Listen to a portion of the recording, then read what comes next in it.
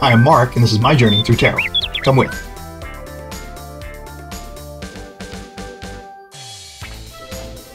Okay, so we're going to take a trip here to Sand Key Beach. So we're just going around the roundabout here, which I'm amazed it's gone so easily because usually people don't have a clue how to get around this thing.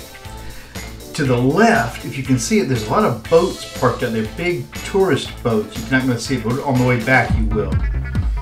Um, and uh, they actually go out into this uh, bay and out onto the Gulf of Mexico, uh, emptying out where uh, I'll be on the beach. So, a little shortcut I take here.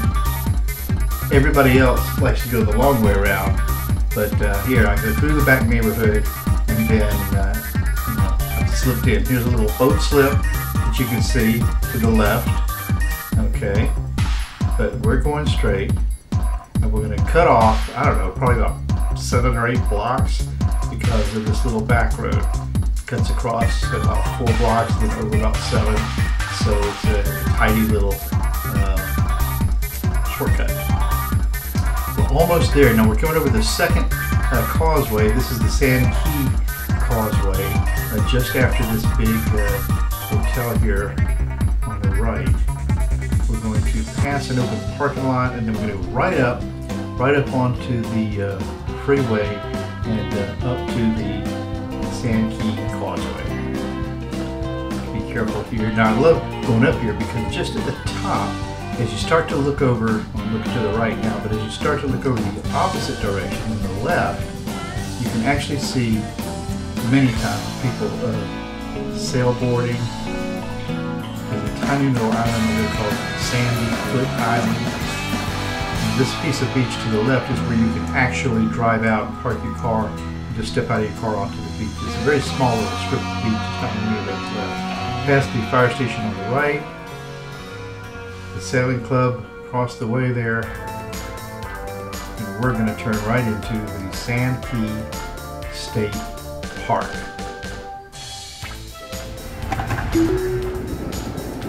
Here we are. It's beautiful. My typical spot.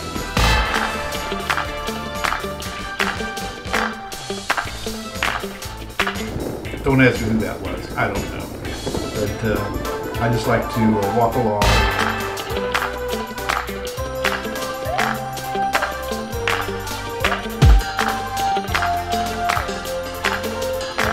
Okay, that's enough.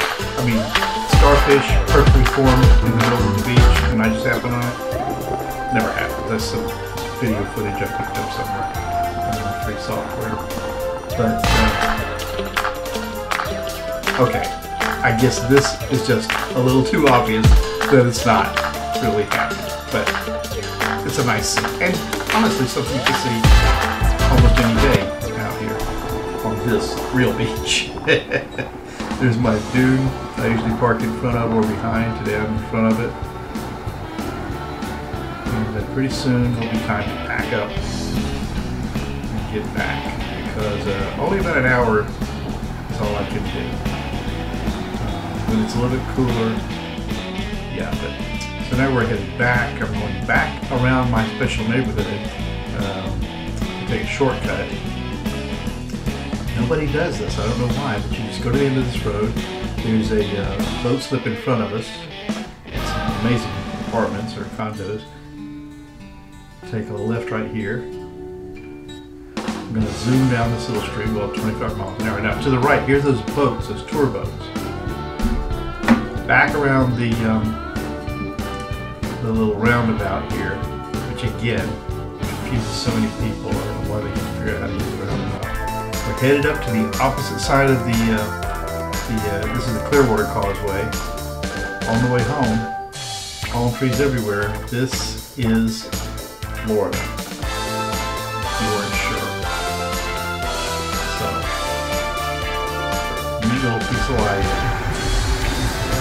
Can't believe I'm back. I've never thought I'd in Florida again.